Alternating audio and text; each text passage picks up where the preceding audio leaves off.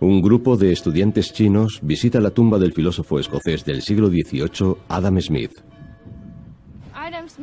Adam Smith es muy admirado y escribió un libro muy famoso. No sé cómo es el título original, pero en China lo llamamos Gofu Lun. La mayoría lo conocemos. I root for the free market team. Uh, Adam Smith is my star player. Back in 1776, economist Adam Smith shocked everyone by saying that what governments should actually do is just leave people alone to buy and sell freely among themselves. It's as persuasive now as it was then.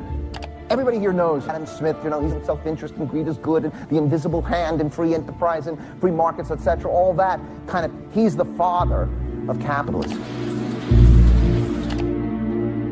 ¿Realmente es el padre del capitalismo? Para muchos, el filósofo y su libro están ligados a su nacimiento. La historia, sin embargo, sugiere que el capitalismo nació cientos de años antes que él, por lo que nuestro relato no empieza con el hombre, sino con el mundo que lo vio nacer. Adam Smith, origen del libre mercado.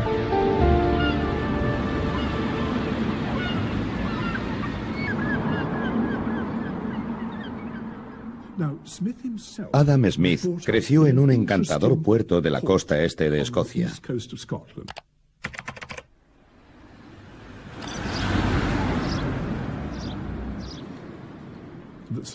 La sociedad en la que vivió estaba atravesando una profunda revolución en su vida pública.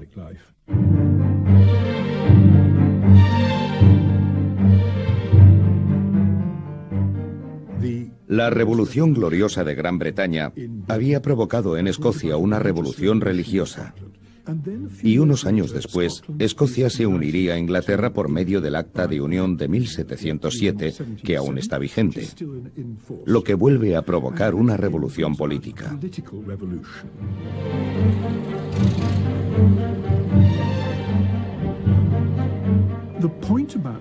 La importancia de esta revolución en la vida pública de Escocia, en lo que concierne a Smith, es que carga de responsabilidad a las clases medias escocesas, que tienen como objetivo buscar la mejora de la vida pública, la mejora de las instituciones escocesas, la mejora de la religión escocesa y la mejora, sobre todo, de la economía escocesa.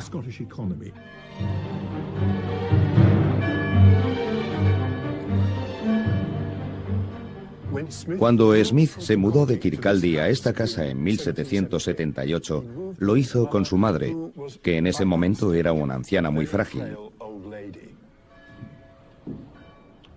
Cuando Smith vivía en Kirkcaldy, estaba acostumbrado a observar grandes playas, grandes extensiones de mar.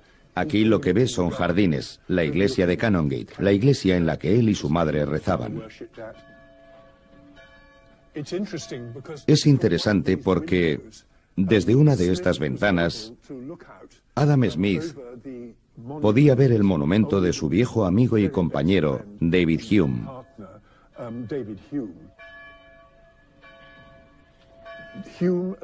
La asociación filosófica de Hume y Smith fue una de las mayores influencias formativas a la hora de dar forma a la ilustración escocesa. Hume y Smith eran dos hombres intelectualmente muy parecidos. Ambos tenían la ambición de intentar desarrollar una filosofía, incluso una ciencia, que explicara los principios del comportamiento humano, que explicara los principios de la organización social y del cambio histórico, sin ninguna referencia en absoluto a la religión.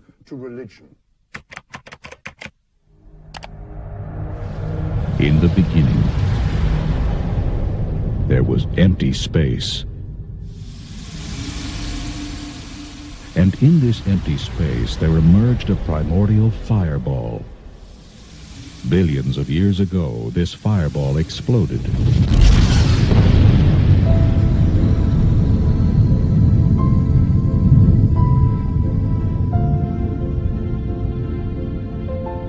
Adam Smith, como otros filósofos de su tiempo, buscaba leyes que explicaran el desarrollo humano, una ciencia del hombre.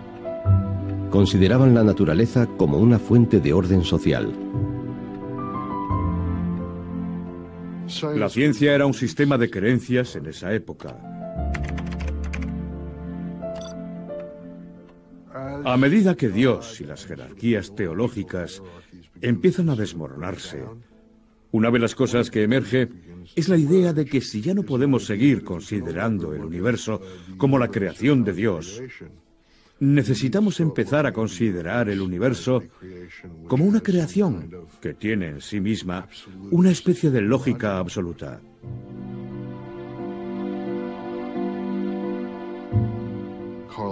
En el siglo XVII, el botánico Carl Linnaeus decide que va a definir el mundo natural en su conjunto como un sistema completamente integrado y jerárquico, por lo que empieza a trabajar en un proyecto llamado Sistema Nature, el sistema de la naturaleza.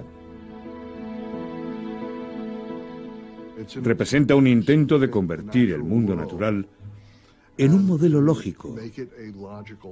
Y su modelo está basado en la monarquía, por lo que crea el reino animal, el reino vegetal, y también tenía planeado crear el reino mineral.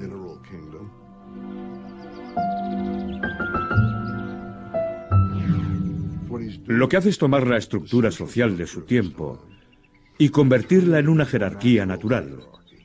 En otras palabras, esa jerarquía no es algo creado por la espada, sino que la jerarquía y la desigualdad han sido creadas por la naturaleza.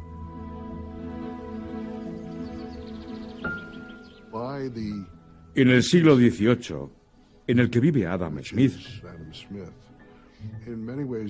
en muchos aspectos ya está presente la idea de que la razón, la ciencia y la estructura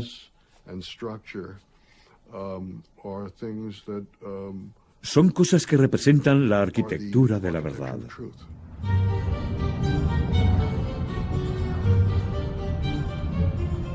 En 1763, casi 30 años después de la publicación de Sistema Nature, Adam Smith llega a París.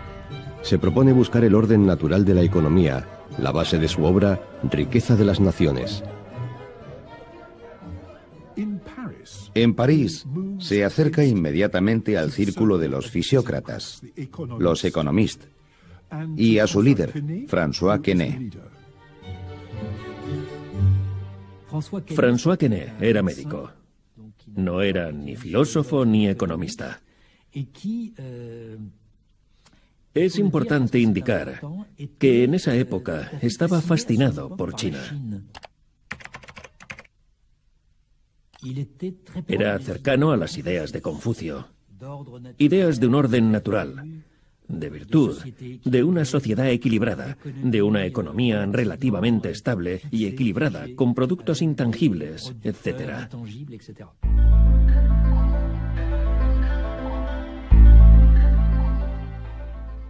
Quesnay observaba la cuestión de la economía y decidió que tenía que ser capaz de establecer un circuito de la economía.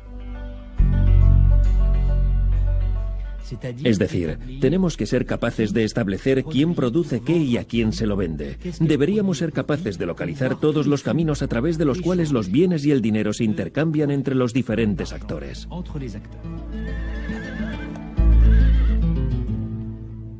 La economía clásica fue fundada por dos médicos.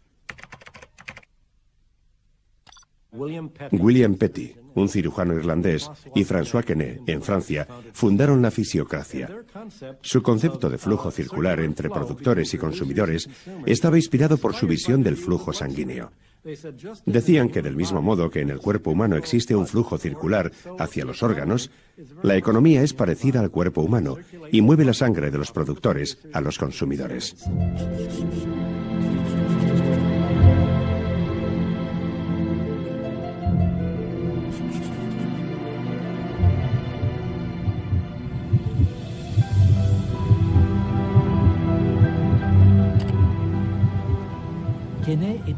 Quesnay, influenciado por Confucio como estaba, decidió que existía una especie de orden natural, al que incluso llamó orden divino, que debería ser respetado.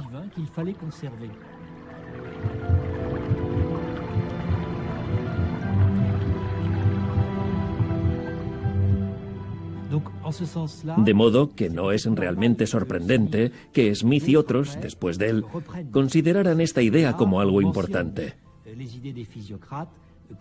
Porque quizás era la primera vez que este orden natural se había establecido y que teníamos los medios para mantenerlo.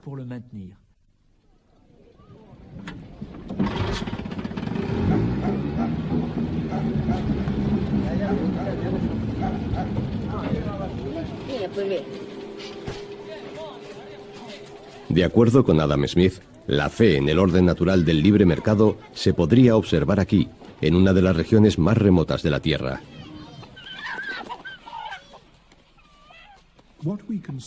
Lo que podemos ver en la obra de Smith es un ejercicio por proponer una ciencia del hombre absolutamente enorme.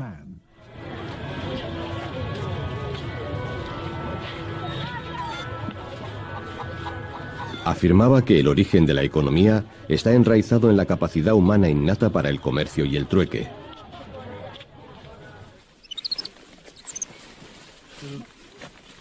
Como prueba, presentaba las tribus salvajes de las Américas, como él las llamaba.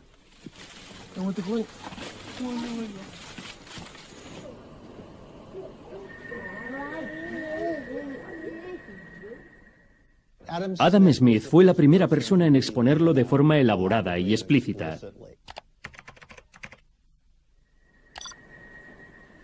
Hubo un tiempo en el que no existía el dinero y la gente tenía que intercambiar cosas directamente. Por ejemplo, mira, te doy 20 gallinas por esa vaca. Vale, quizás 25 gallinas.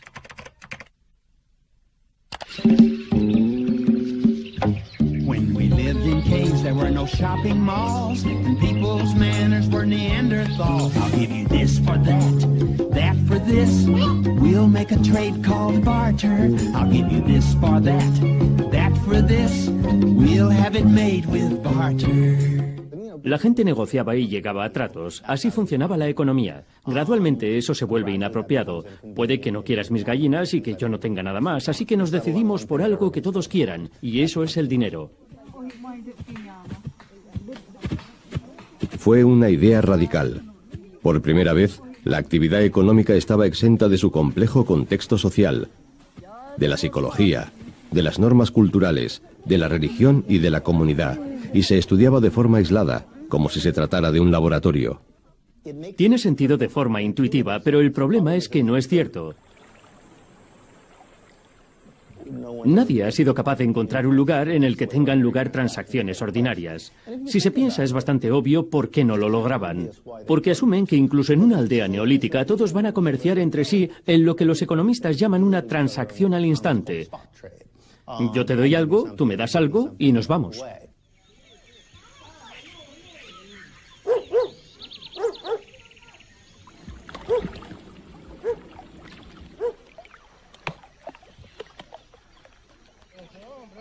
La idea que Adam Smith tenía del trueque y del intercambio podría haber sido fácilmente demostrada gracias a la forma en que estos cazadores de esta comunidad aislada hacen trueques e intercambian su caza. ¿Qué es eso? Un majás. El problema, sin embargo, es que no lo hacen y nunca lo han hecho. Liberato, ¿y ahora cómo es la repartición de la, de la carne? ¿Tú- ¿Solo el que ha casado lleva la carne a su casa? Sí, el que a casa no lleva, ya, pero antiguamente no era así. Antiguamente le cocinábamos así, así con sí, sacar su tripa así enterito, una olla grande. Y ahí se le cocinaba a ese, a ese- a ese animal. Y invitamos a toda la comunidad, a toda la población, ¿no? Y comíamos todos juntos iguales ahí. Los antropólogos llaman reciprocidad a este sistema de reparto comunal. Para los maijunas, como para la mayoría de las tribus indígenas, es algo del pasado. En la actualidad, nadie de la aldea comerá esos majás, sino que los llevarán al mercado a unas pocas horas en barca para venderlos. La reciprocidad es un sistema que funciona dentro de- del grupo, dentro de la familia. Hablar de familia estamos hablando siempre de familia extensa, a veces puede ser muy numerosa, ¿no? Yo caso, yo tengo obligaciones de entregar parte de ese animal a tales y cuales personas porque son las que constituyen mi grupo de relación y cuando ellos casen, cuando ellos capturen un animal van a hacer lo mismo. Si yo pesco, exactamente igual. Que esto no es lo que se llama trueque, porque el trueque es toma esto y dame esto, no es así. Esto es yo te doy y tú, cuando tengas, tú me das. Come, que... Toma ya, toma ya. Ay, escuchar. Come ya, ya. Realmente no se puede culpar a Adam Smith, no tenía las pruebas. Pero desde entonces los antropólogos han contado a los economistas una y otra vez que la gente en realidad no hace eso. Durante 200 años hemos buscado una sociedad que no existe. Aún así, todavía se sienten obligados a contar el mismo relato. Está claro que ese relato les funciona, pero no tiene nada que ver con la historia o con la realidad empírica. Los maijunas no evolucionaron desde el trueque y el intercambio a una economía de mercado, sin importar lo que nos haya hecho creer la teoría del siglo XVIII. Lo que sucedió fue que la colonización y el sistema de mercado los atrapó en el siglo XIX, cuando la goma fue descubierta en el Amazonas.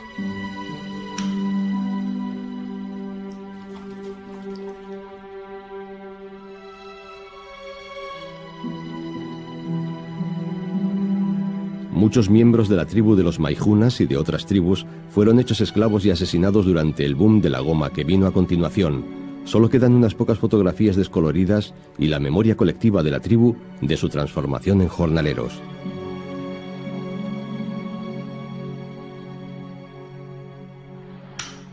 solamente han trabajado como esclavos, han trabajado como personas que solamente como quizás no entendían mucho qué es un dinero solamente para una vestimenta. Entonces prácticamente estas cosas, yo entiendo que esto han trabajado mucho los maijunas.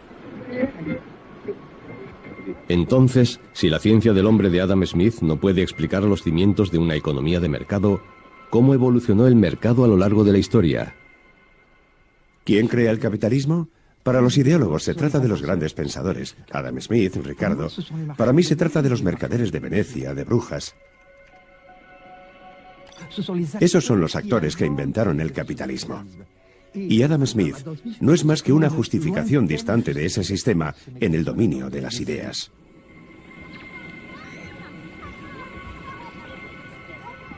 Entonces, el capitalismo no fue el producto de las ideas, sino de los procesos históricos que transformaron a los maijunas y, de hecho, a todos nosotros en el Homo economicus. Estos históricos cambios globales fueron desatados por un único evento clave,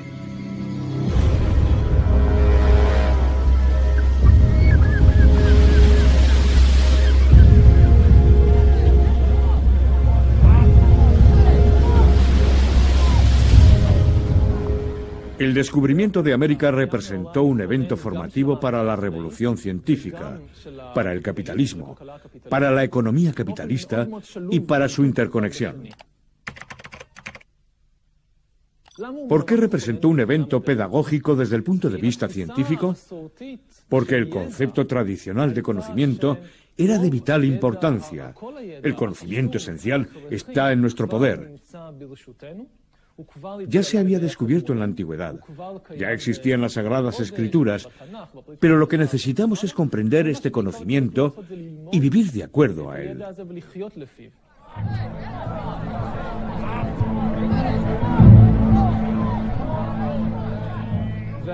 Los europeos no solo descubrieron un nuevo mundo, sino que empezaron a conquistarlo, a poblarlo, a sacar dinero de él, desde plantaciones de tabaco y azúcar a minas de oro y plata.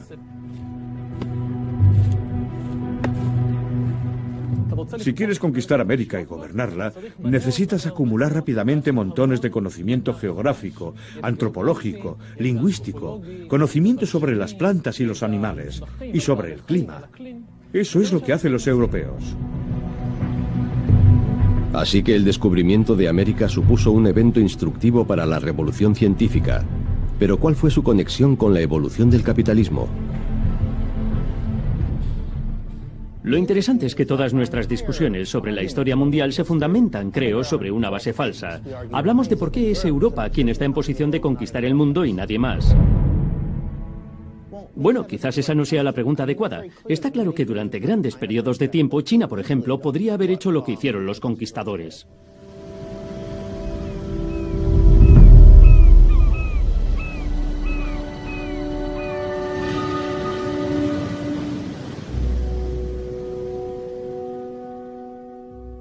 A principios del siglo XV, Zen empezó sus expediciones hacia los mares occidentales.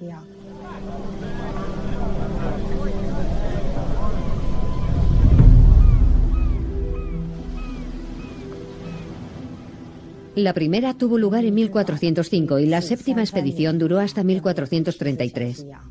Sin embargo, tuvieron que pasar casi 80 años para que empezaran a llegar a Oriente los primeros occidentales.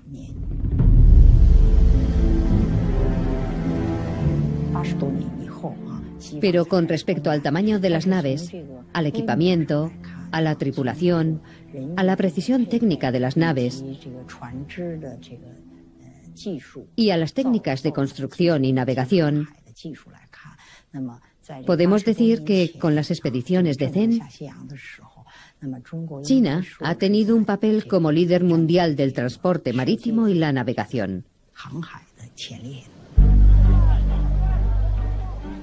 Pero nunca se les ocurrió despoblar continentes enteros para poder acumular cantidades masivas de oro y plata. Eso le parecería de psicópatas a la mayor parte de la gente de la Tierra. No todos quieren dominar el mundo, por lo que la pregunta es, ¿por qué Europa acaba haciendo eso? Creo que la respuesta se encuentra en la peculiar relación entre prestamistas y emprendedores, como los llaman. Es así, si se piensa en los conquistadores como los arquetípicos emprendedores que arriesgan cada vez más, que siempre están creando algo a partir de nada para hacer más y más dinero. Mientras que los viajes chinos en busca de descubrimientos eran decretados por el emperador, los descubrimientos occidentales empezaron como iniciativas privadas, desatando un proceso completamente diferente. Lo que el descubrimiento de América indica a los inversores, a los reyes, a los banqueros y a los mercaderes es que existe una gran oportunidad de la inversión en nuevas iniciativas para luego ver un retorno sustancial de la inversión original. La gente estaba deseosa de invertir grandes sumas de dinero con condiciones más laxas, como en el caso de Colón. Entonces funciona. Aquí es cuando empieza. Se trata de un círculo mágico. Ahora hay más dinero para los emprendedores. Por supuesto, muchos fracasan, no todos tienen éxito, como las compañías startup de hoy en día. Pero es suficiente con que una de estas startups geográficas tenga éxito para establecer un asentamiento en las Filipinas o en México.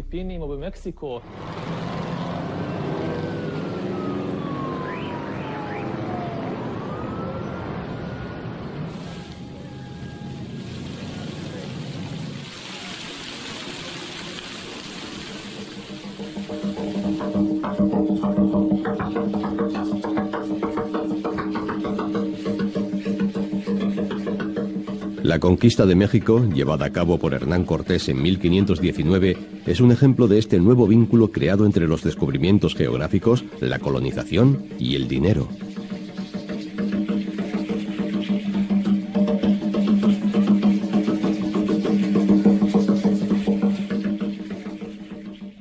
Lo más fascinante que he descubierto al empezar a estudiar las historias reales de los conquistadores es que todos estaban endeudados, hasta el último de ellos. Cortés, por ejemplo, se endeudó cada vez más. Es un jugador, dice, nunca voy a desendeudarme, voy a pedir prestado más dinero y apostarlo todo en esta descabellada expedición.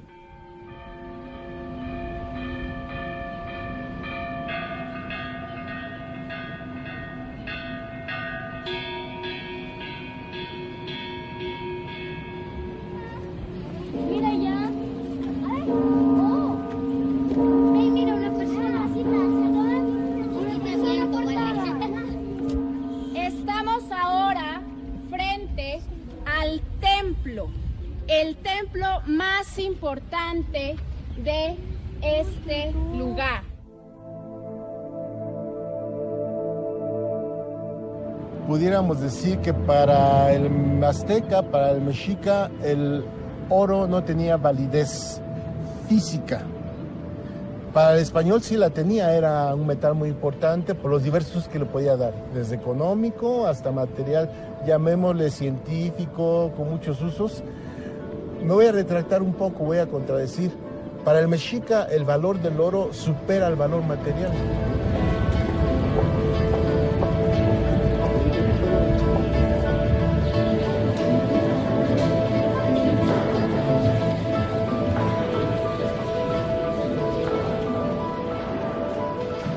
Cuando el enviado de Moctezuma, el rey mexica, le pregunta por su obsesión por el oro, Cortés le contesta, Mis compañeros y yo sufrimos una enfermedad del corazón para la que no existe más cura que el oro.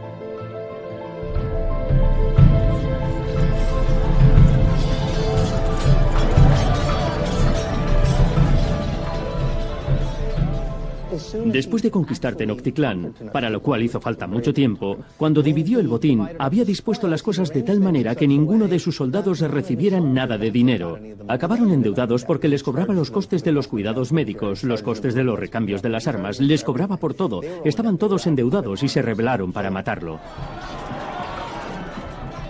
Finalmente les dijo, vale bien, no os voy a dejar abandonados, os daré una moratoria de 10 años. Dirigíos a las provincias y gobernadlas, con lo que se convirtieron en esos gobernadores voraces que sacaban todo el dinero que les era posible.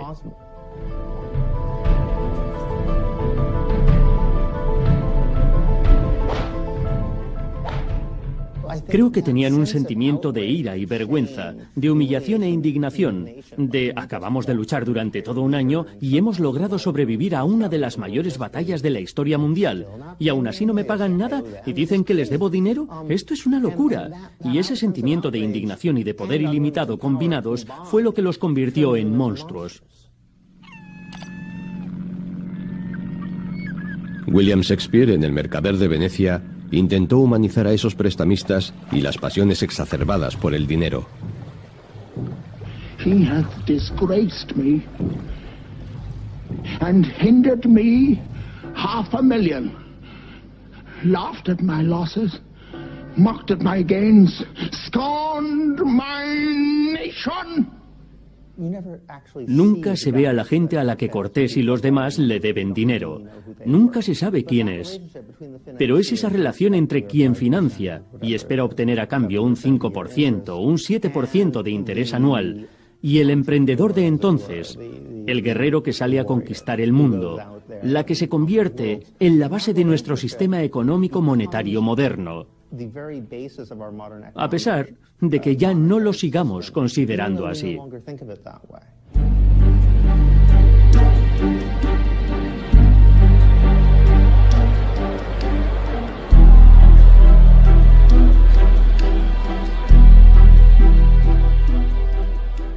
Es el círculo mágico de inversiones y conquistas.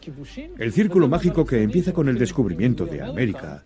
Es el motor de estas dos ruedas, la rueda de los descubrimientos científicos y la rueda de la economía capitalista. Crédito, inversión, beneficios, más crédito, más inversión y más beneficios.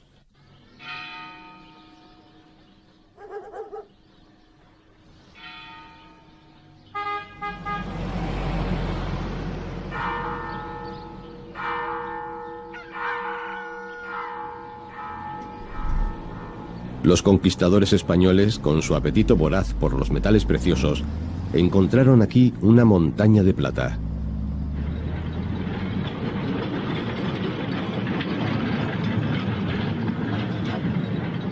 La llamaron el Cerro Rico.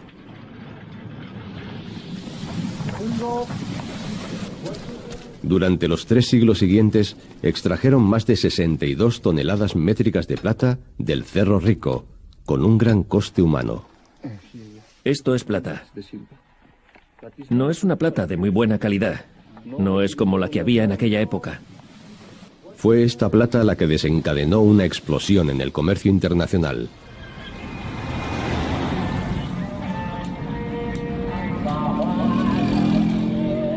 En China, la plata de América Latina impulsó una espectacular expansión del mercado comercial.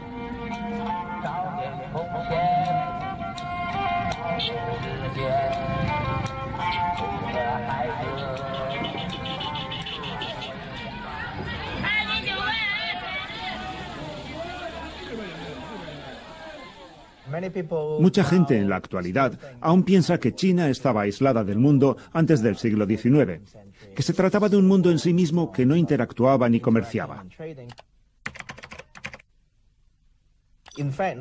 Pero ahora resulta bastante claro que los grandes descubrimientos europeos, como el de América y otros por el estilo, tuvieron un impacto real muy importante en China.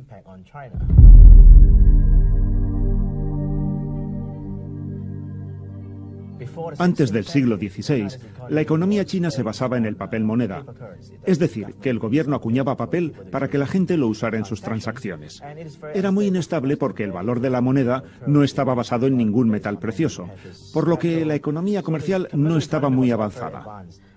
Hasta que el gobierno chino, en un intento por luchar contra la inflación y otras desventajas económicas, cambia a una economía basada en la plata.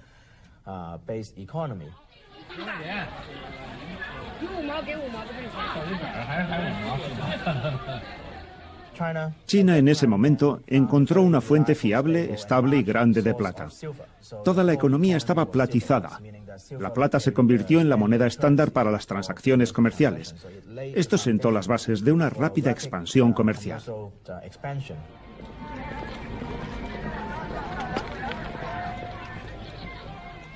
Mientras tanto, en Europa la economía de mercado se había convertido en capitalista porque el capital tenía una posición muy importante, una posición de fuerza.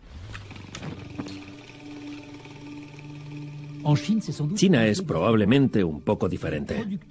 Los productores de China, sean campesinos o artesanos, habían ganado su acceso al libre mercado por ellos mismos en el siglo XII. Podían vender sus productos sin tener que estar supeditados a un mercader o capitalista, quien gracias a su dinero les proporcionara algo parecido a un salario.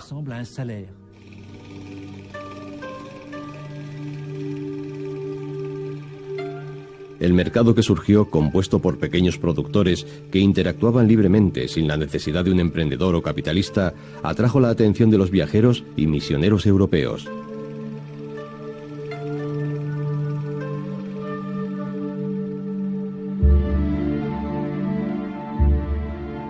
Sus historias impresionaron a los filósofos franceses y a los fisiócratas, y a Adam Smith.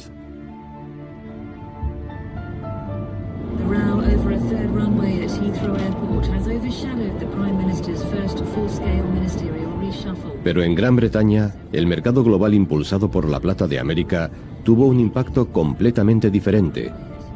Mientras que en China animaba a los pequeños productores, aquí los destruyó.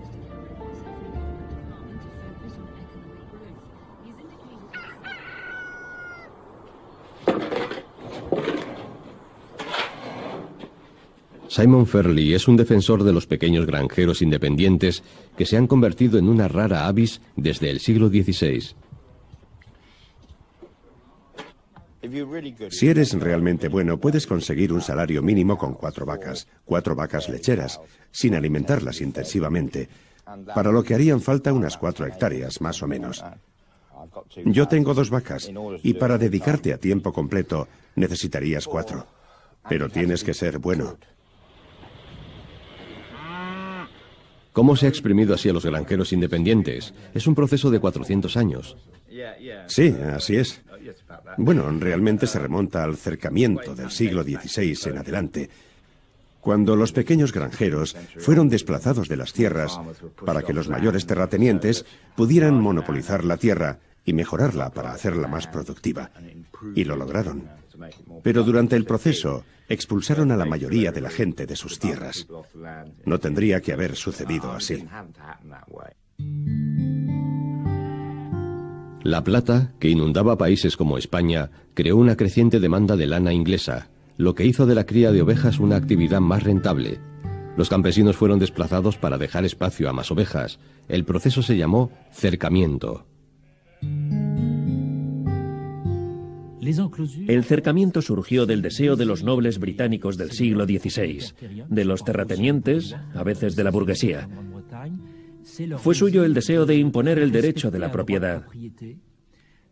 Hasta entonces la tierra se mantenía más o menos de forma conjunta y se dejaba para la gente más pobre. Pero a partir del siglo XVI, la nobleza y la burguesía empiezan a reivindicar su derecho a la tierra.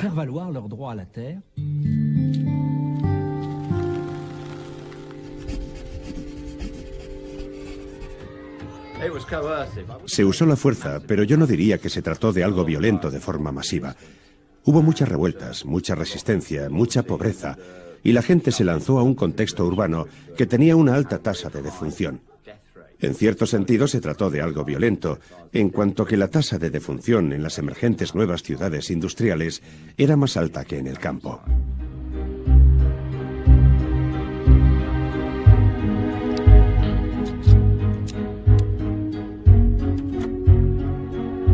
Derriban casas, escribió Tomás Moro.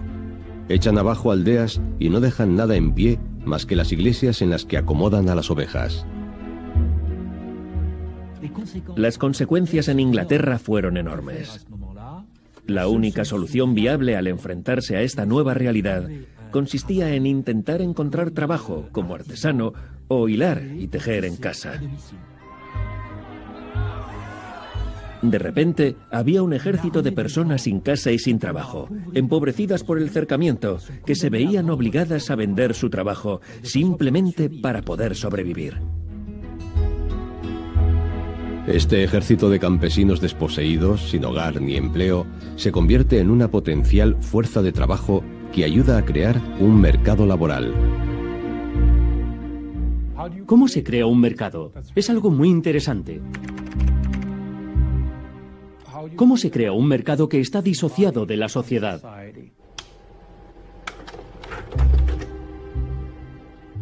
Se puede aprobar todo tipo de leyes, que fue lo que sucedió en Inglaterra entre 1650 y principios del siglo XIX, que criminalicen la pobreza.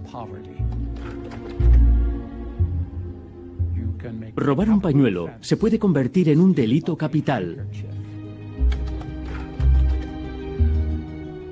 Se puede ejecutar a los niños.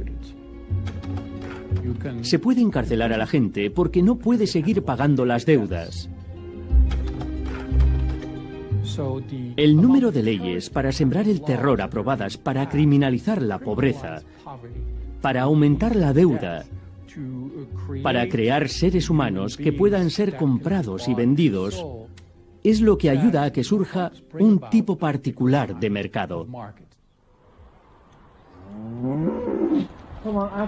Vamos. Vamos. Vamos.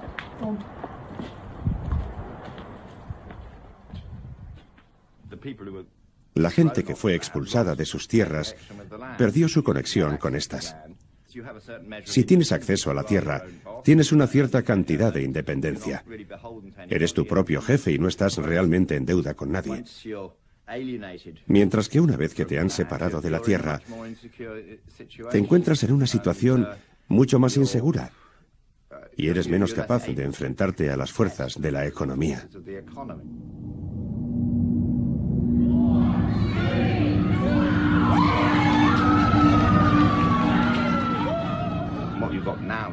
Lo que tenemos aquí es una situación en la que para poder mantener girando las ruedas del capitalismo hay que convencer a la gente para que consuma, que era uno de los problemas con la gente que vivía en sus propias tierras o en tierras comunales, que no salían a consumir con tanto entusiasmo.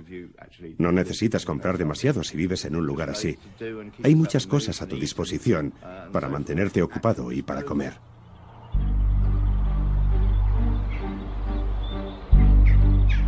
De este modo, el camino de la plata y del oro que empieza en el Nuevo Mundo ayuda a estimular un mercado global que acaba por transformar la sociedad británica.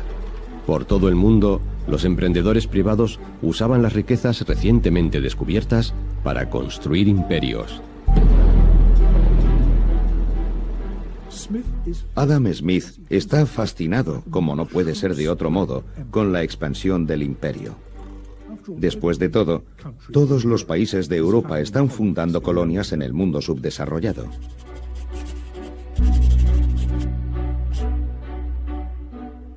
¿Y cómo se desarrollan esas colonias? En realidad quien las desarrolla es lo que llamaríamos el sector privado. ¿Qué hacen las grandes compañías de comercio? Se trasladan, con el permiso del gobierno, a diferentes partes del mundo. Y estas compañías de comercio se convierten en gobiernos.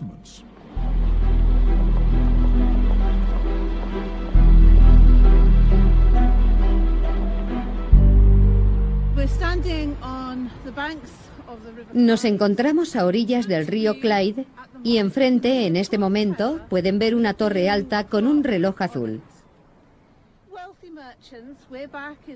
Los mercaderes adinerados del siglo XVIII miraban desde lo alto de la torre al río para ver llegar sus barcos. Y esos adinerados mercaderes seguían una especie de ruta comercial triangular.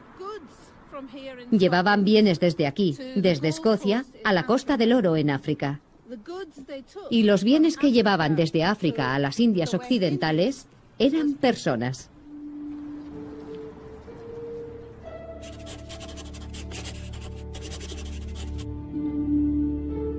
Los barcos de Europa llevaban bienes a África y allí cargaban esclavos para llevarlos al Nuevo Mundo, de donde traían de vuelta materias primas a Europa. Se lo llamó comercio triangular y se trataba principalmente de empresas privadas, lo que contribuyó a que emergiera la economía de mercado. El comercio y el imperio del siglo XVIII en Europa dependen cada vez más de los esclavos negros. Adam Smith lo sabe muy bien. Después de todo, fue un estudiante aplicado de la economía escocesa en su día, pero escogió hacer ojos ciegos ante la esclavitud.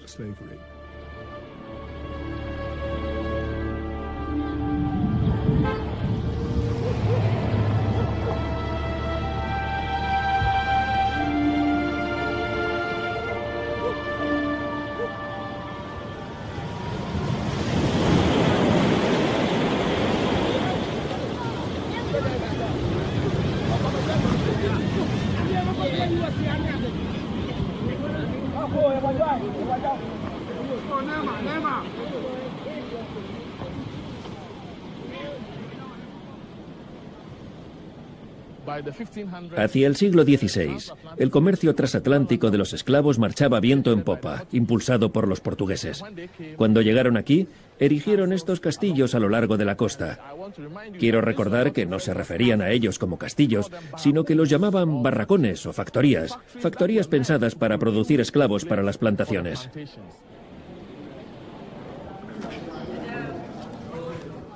¿Ven esto? Es el emblema nacional de Ghana. Fue tomado de los cruzados. En la esquina superior derecha hay una construcción, un castillo, que muestra el papel que estos castillos desempeñaron en el desarrollo social, económico y político de Ghana.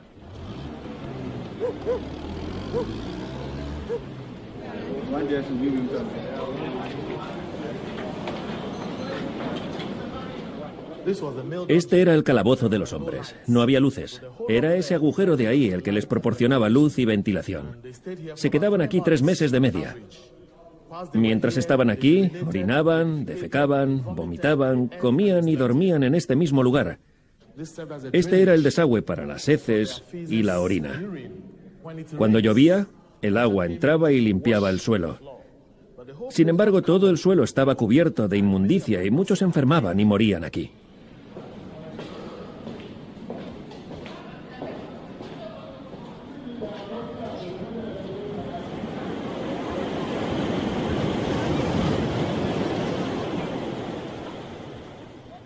Lo que hay que entender del comercio de esclavos es que se trataba de un proyecto económico organizado por el libre mercado, el mercado de los capitalistas. No se trata de un proyecto gubernamental, no se trata de un proyecto de la realeza. Quienes lo organizan, lo inician y lo ejecutan son compañías privadas.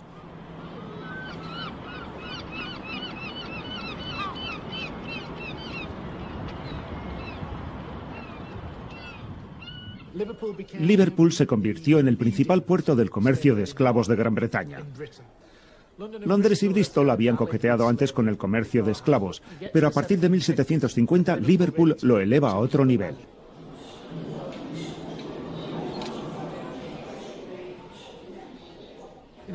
No estamos hablando de un periodo de 50 o 75 años, Se trata de generaciones enteras de familias que levantaron su fortuna con la esclavitud de otras personas.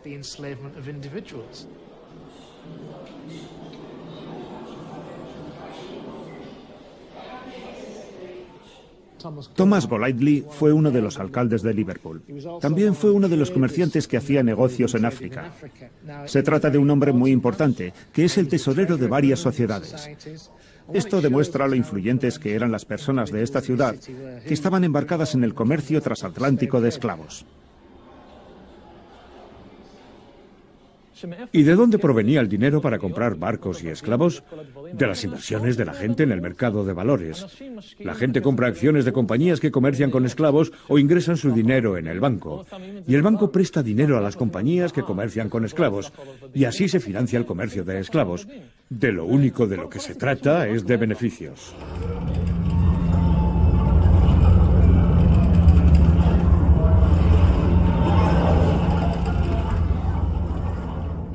No se originó a raíz del odio racial hacia los africanos. El racismo es producto de la esclavitud. No se originó antes que la esclavitud.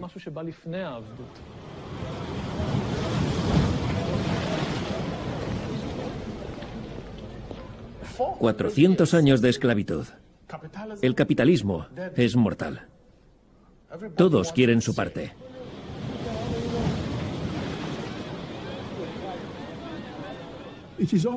A menudo se dice que Adam Smith no es sensible a los movimientos sociales y a los cambios sociales de su tiempo. Quizás la viga en el ojo de la riqueza de las naciones sea la esclavitud.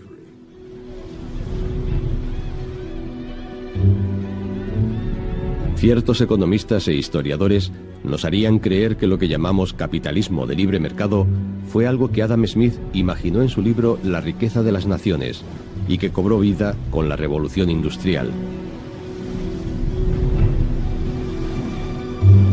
Pero los orígenes de nuestro sistema económico actual se pueden encontrar a más de 7.000 kilómetros de distancia cruzando el Atlántico y 200 años antes de la publicación del libro de Adam Smith.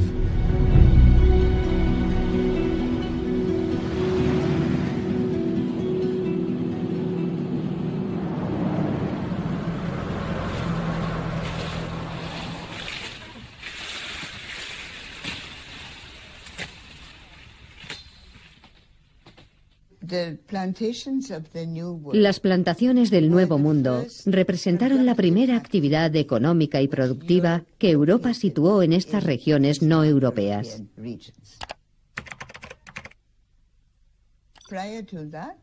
Antes de eso, o bien saqueaban o comerciaban, o saqueaban y comerciaban, u ocupaban y se asentaban.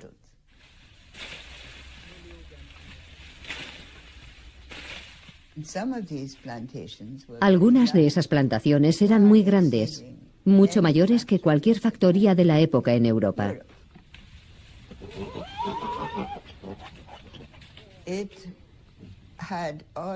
Tenían todas las características con las que yo definiría el capitalismo, con la única excepción de que el trabajo no era trabajo asalariado, sino trabajo esclavo privado de libertad pero en cualquier otro aspecto era capitalista sin ningún tipo de duda. Lo único que buscaba era el beneficio.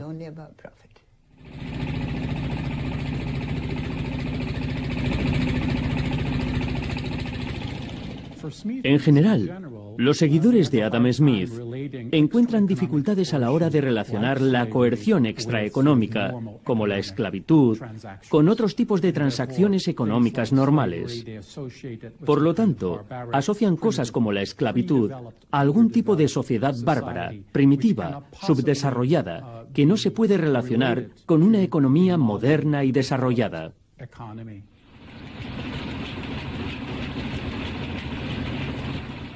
Pero se pueden presentar argumentos sólidos para decir que el capitalismo empezó en realidad en el siglo XVI con la colonización del Caribe y de América Latina.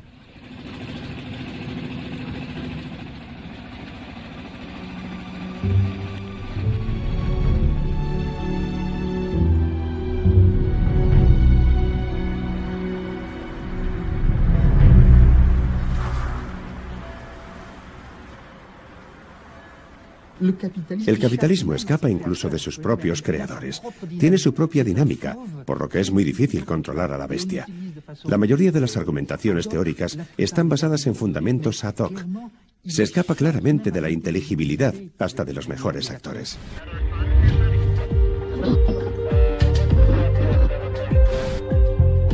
Pero si el nacimiento del capitalismo no tiene nada que ver con Adam Smith, ¿por qué su libro La riqueza de las naciones se convirtió en una obra tan influyente? ¿Y por qué su visión de la economía como una ciencia está tan ampliamente aceptada?